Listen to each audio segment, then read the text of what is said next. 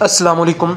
بابر اعظم کو کیا کچھ ثابت کرنے کی ضرورت ہے اور کیا کچھ نہیں ثابت کرنے کی ضرورت؟ گوتم گمبھیر نے بابر اعظم کی تعریفوں کے پل باندھ دیے ہیں اور ان کے ساتھ ہی گوتم گمبھیر نے کنس کے ساتھ گفتگو کرتے ہوئے تعریفوں کے پل باندھے ہیں اور ایک اور مشہور کھلاڑی نے بھی بابر اعظم کی تعریف کی ہے اور کیا مشورے دیے ہیں اس ویڈیو میں بتائیں گے۔ اگر آپ چینل پر نہیں ہیں تو چینل کو ضرور سبسکرائب کیجیے گا اور ویڈیو کو لائک کر دیجیے۔ بھارتی کرکٹ ٹیم کے ہیڈ کوچ گوتم گمبھیر نے پاکستان وائٹ بال ٹیم کے کپتان بابر اعظم کی تعریف کرتے ہوئے کہا ہے کہ وہ اس قدر باصلاحیت ہیں کہ وہ پاکستان کے ایسے بلے باز بن سکتے ہیں جو آج تک پیدا نہیں ہوا۔